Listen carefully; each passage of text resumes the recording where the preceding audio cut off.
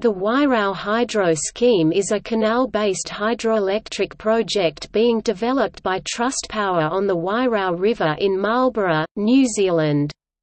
The $280 million project will divert up to 60% of the river through 49 kilometers (30 miles) of canals to generate up to 70 megawatts (94,000 horsepower) of electricity.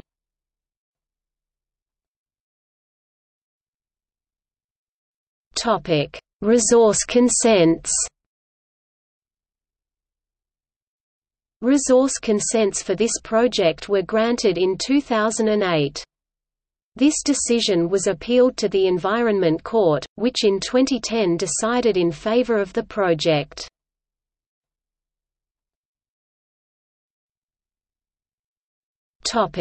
See also List of power stations in New Zealand. Electricity sector in New Zealand